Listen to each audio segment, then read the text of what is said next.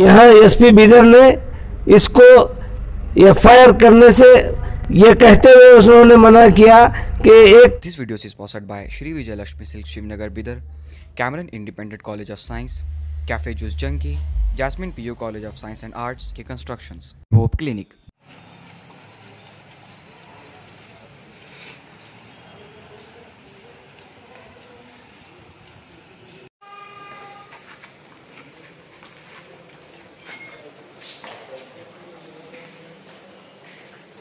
बिस्मिल्लाहिर्रहमानिर्रहीम।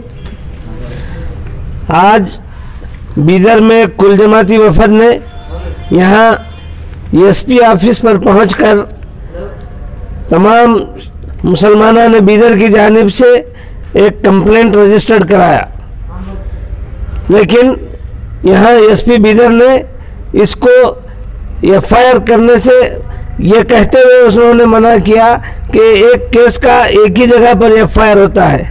हमारा एसपी बीदर से और कर्नाटका पुलिस से ये पूछना है कि जब दूसरे मुकामात पर इस तरह के एफआईआर अलग अलग जगह पर जब रजिस्टर्ड हो रहे हैं तो फिर यहाँ बीदर में एफआईआर क्यों नहीं रजिस्टर्ड हो सकता?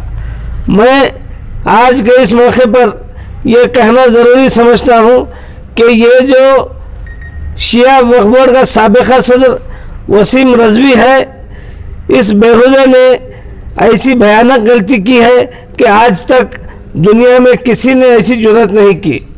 किसी भी मजहबी किताब के ऊपर तनखीद करना या उसके ऊपर उंगली उठाना ऐसी बेहुदा हरकत है कि इसके खिलाफ जितनी सख्त सज़ा दी जाए कम है। आज ये जो कुल जमाती वफद यहाँ पर आया हुआ है, हम तमाम मुसलमानों ने बीदर का मानना सिर्फ़ यही है कि इस तरह के लोगों को अगर खुली छूट दी जाती है तो ये मुल्क में अमन और अमान को बिगाड़ने का और यहाँ पर फितना और फसाद फैलाने का सबब बन सकते हैं। तो ऐसे लोगों को न सिर्फ़ सख्त से सख्त सज़ा दी जाए, बल्कि ऐसा कानून ही बना दिया जाए कि किसी भी धर्म ग्रंथ या किसी भी जो है ना धर्म के जो बड़े लोग होते हैं, उनके खिलाफ अगर कोई जबान दराजी करता है तो उसको सीधे फांसी पर चढ़ा दिया जाए। इजहार ख्याल की आज़ादी का ये मतलब हरगिज़ नहीं होता कि वो किसी के भी बारे में, किसी भी धर्म के बारे में कुछ भी कह डाले। तो आज के इस मौके पर हम तमाम लोग यहाँ पर जमा हैं। मैं, हमारे तम, दीगर साथी, और मौलाना मोनिस किरमानी साहब हैं, और दीगर तमाम तबक़ात के और तंजीमों के ज़िम्मेदारान हैं। मैं गुजारिश करूँगा कि वो भी अपनी तरफ़ से दो दो बात कहें। बसमीम इन्ना नहनु ज़िक्र व इन्ना लहु लहाफिज़ून. कुरान ये अबदी पैगाम है।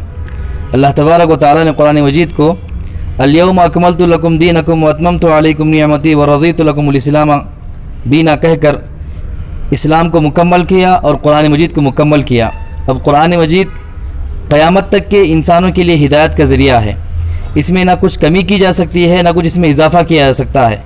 नौज़बिल्ला बिन ज़ालिक इस्लाम के मानने वाले इसके छः हज़ार छः सौ छसठ आयतों पर पूरा यकीन करते हैं, पूरा अतमाद करते हैं और ये कुरान अबदी कलाम है। अल्लाह तबारक ताली ने यह सारी इंसानियत की भलाई के लिए उतारा है। मशरक़ से लेकर मगरब तक, शिमाल से लेकर जनूब तक जितना दुनिया का हिस्सा है, हर दुनिया के हिस्से में कलाम पढ़ा, कलाम पाक पढ़ा जाता है और इसके मानने वाले हैं।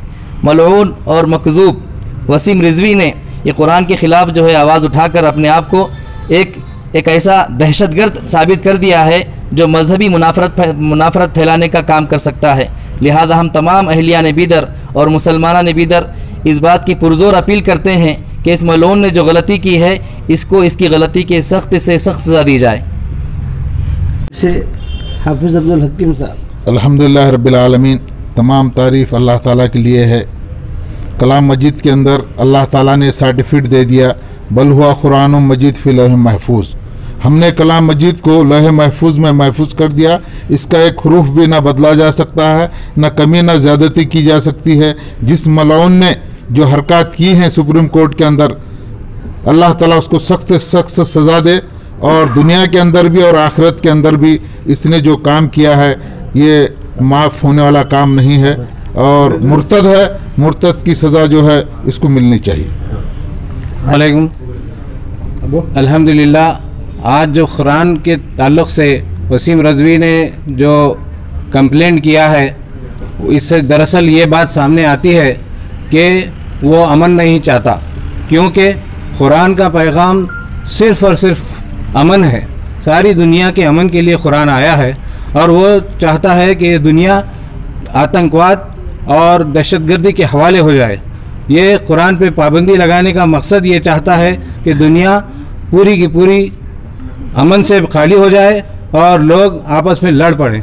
हम ये चाहते हैं कि इस रसीम व रजवी को सख्त से सज़ा सख्त से सख्त सज़ा मिल, मिलनी चाहिए। अस्सलाम वालेकुम। अस्सलाम वालेकुम वरहमतुल्लाहि वबरकातुहू। अल्हम्दुलिल्लाहि रब्बिल आलमीन। अस्सलातु वस्सलामु अला अशरफिल अंबिया'i वल मुरसलीन। क़ाल अल्लाहु तआला फ़िल क़ुरआनिल मजीद या अय्युहन नास इत्तक़ू रब्बकुम अल्लज़ी ख़लक़कुम मिन नफ्सिन वाहिदा। ये जो हम आज यहाँ जमा हुए हैं एहतजाज के लिए उस पागल और इंसानियत से हटा हुआ जो शख्स है, वसीम रजवी, उसने कुरान मुबारक के ख़िलाफ़ जो चंद आयतों को हज़फ करने के लिए रिटिपिटेशन दिया है, वो एक पागल है, एक पागल को दुनिया में नहीं रखना चाहिए, पागल खाने में डाल देना चाहिए। ये शख्स तमाम आमले में, आलम इस्लाम के जज्बात को मजरू किया है और ये कलाम तमाम इंसानियत की इंसानियत के लिए भेजा गया है। मैंने जिस आयत करीमा की तिलावत की, उसमें अल्लाह ताला तमाम इंसानों को इसे मुखातिब फरमाता है और ये मज़हब अलम, अमन और सलामती का मज़हब है। हमारे पास नाहा कत्ल को बहुत बड़ा जुर्म, गुनाह कहा गया है।